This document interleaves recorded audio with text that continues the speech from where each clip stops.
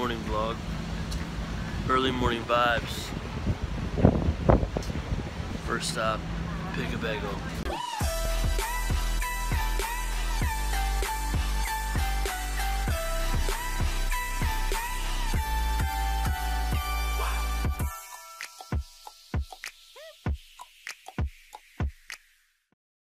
Alright guys, this is my man Joe.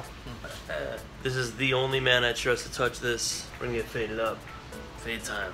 Joe, love you brother. Fresh fade. Uh, just actually leaving work. Heading to a little surprise concert. Big fan of David Berkeley. So I'm gonna do a little uh, surprise concert at Rockwood Music Stage here in uh, Lower East Side. Good day, busy day. Cranked on the video course, which is gonna be incredible for you guys. Branding in a box.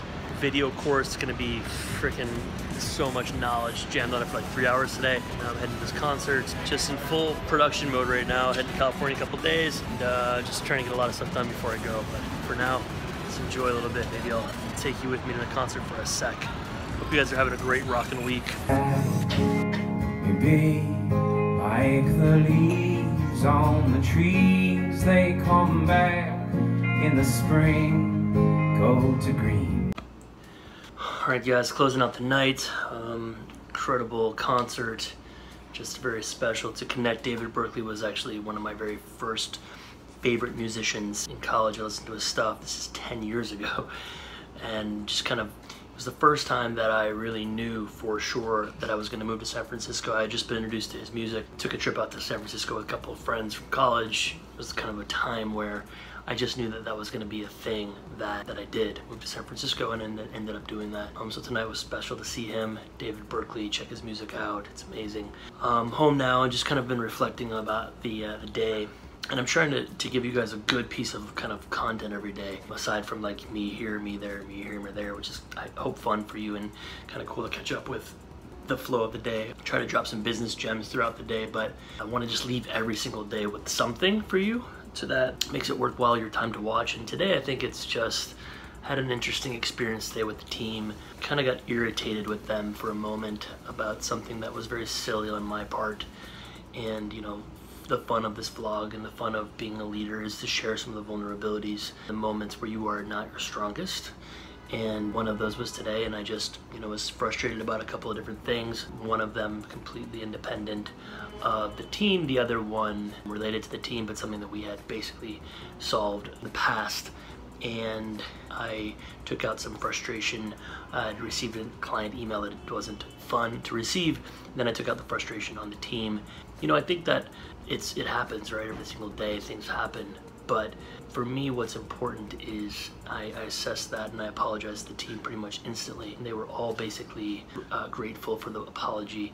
Um, which was a pretty clear sign that I, I, I, fucked up. But I think that I just, I think if, if you if I could point out a weakness of my own, one of the weaknesses of my of myself is that I am so concerned with the well-being of those around me, about their feelings, about their emotions, about what it's gonna do to them if I say something, and I'm constantly battling how to how to say something that I want to say in a way that's not going to destroy people around me. And I think that that is something that I'm, I'm I practice every single day, and that is something that's very important to me. And I think that is something that if I could inspire any of you to do, I think that the benefits so far outweigh the negatives in treating people with a level of sensitivity and emotional intelligence. And so my thing would be, you know, today I, I didn't do that and um, and and that was a real obvious thing for me, right? Like I could definitely feel the fact that I didn't do that,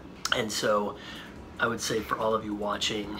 Um, try to take some time every single day to assess how you're speaking to people and how you're treating people and if the words that you are using and the expressions that you are using and the way that you are communicating is the kind of way that would make people around you feel good and I'm not saying don't say what's on your mind. I actually still get that on. I actually still get that out, but it's a balancing act. And being able to say what's actually on your mind while still being sensitive to other people around you, I think is a really good thing. It's not sacrificing the honesty that is your person, but it is, you know, basically uh, being aware that the people around you are doing the best they can as well, and the people around you also deserve love, and the people around you also deserve a respectable form of communication. And that was very obvious to me today when I didn't do it. So, wanted to share with you guys tonight. Um, just you know, every day we're learning, every day we're doing a little bit better. Most of the days we do real well, and the days that we don't, it's just you just jam on it and learn and, and move forward. So that's where I'm at. Um, you know, busy day, jammed on the video course uh, for three and a half, four hours. That's gonna be straight fire. Didn't get into the office till later than I wanted to.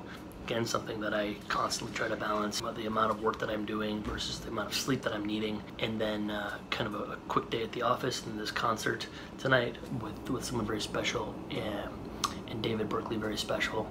And then uh, some late night reflections back at the office, did some work. And now I'm here kind of sharing these thoughts with you guys.